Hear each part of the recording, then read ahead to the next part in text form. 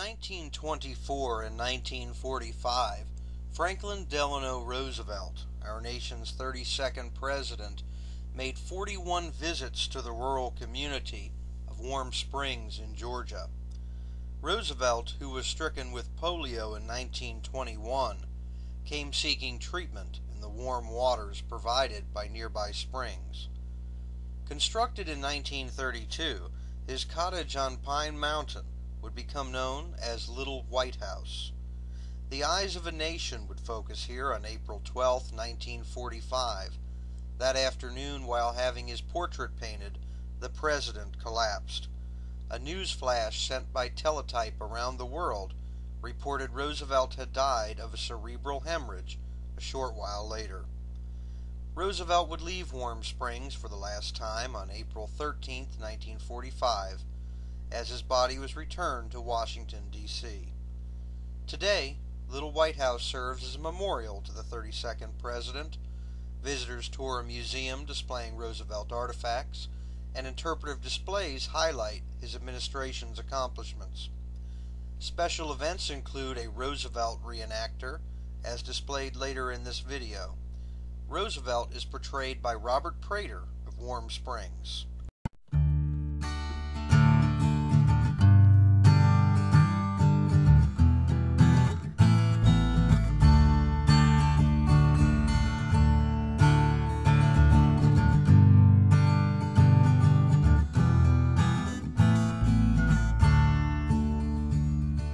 We all need a vision to succeed. And this great man inspired us to believe. We all need a vision to succeed. And this great man inspired us to believe. Franklin Delano Roosevelt, I have seen your message felt in the eyes of those who cannot see. In the minds of those who cannot talk, on the souls of those who cannot walk, you've given us your strength and courage to succeed. We all need a vision to succeed. And this great man inspired us to believe. We all need a vision to succeed. And this great man inspired us to believe.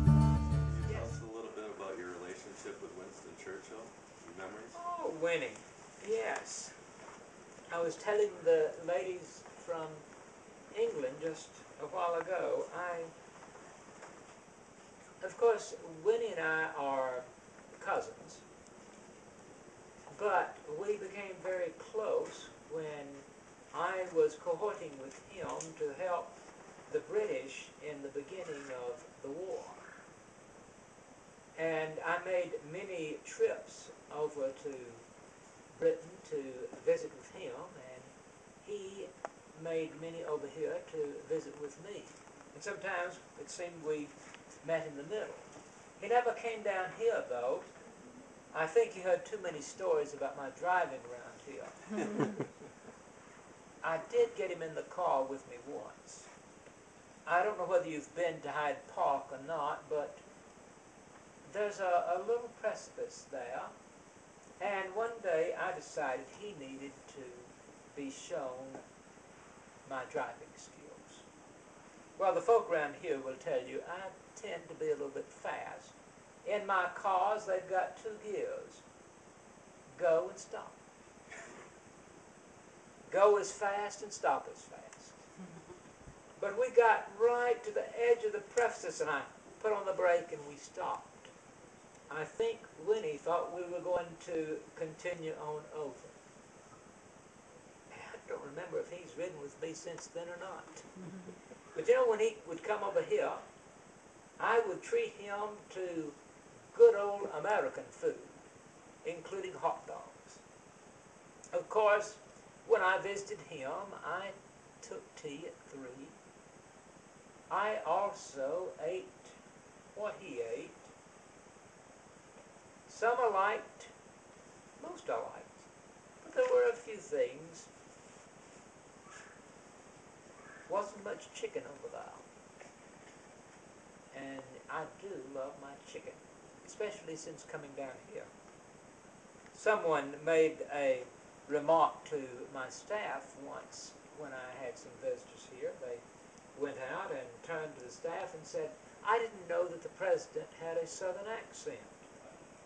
I told this staff member, I said, well, you must remember, I was educated first by a German tutor, and then by a French tutor.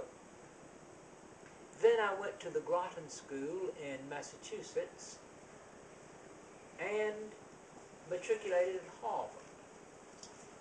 And I picked up some of the Bostonian accent while at Harvard and have kept. And of course, going back and forth with Winnie, I have had to pick up a little bit of the British accent as well. And now that I have been coming to Warm Springs for what, 20, 21 years, and all of that fried chicken that Daisy has fed me, don't you think I should have a little bit of a southern accent? These are good days. I'm enjoying these days here at Warm Springs when I get a chance to come down because I get to see folk like you, folk that become friends. And you might even vote for me. well, again, thank you for coming and visiting us. I hope that you have learned a little bit about Warm Springs and the beauty and the history of this magnificent place. And of course, most of the programs that we began in 33 when I took office started because of my friends and neighbors here in Warm Springs in Meriwether County. I don't know whether any of you were out here when I was telling the folk about why I developed the Rural Electrification Administration. But when I got my first light bill here, it was four times what Mama was paying for the lights in the big mansion at Hyde Park. And I got to checking and I found out that most of my neighbors could not afford electricity. And so I said, when I become president, one of the first things I want to do is begin a program that will bring affordable electricity to my friends and neighbors in Meriwether County. the Civilian Conservation Corps, the CCC, started here. I love the trees. If you went up to my farm on the mountain, you would see row after row of trees that Art and I planted. And so I felt that we needed to give these boys who had plenty of muscle plenty of vitality, but lacked jobs, something to do. and so I began the CCCs. And all the other programs were begun because there was a need. And most of them began because that need started here and not in the city.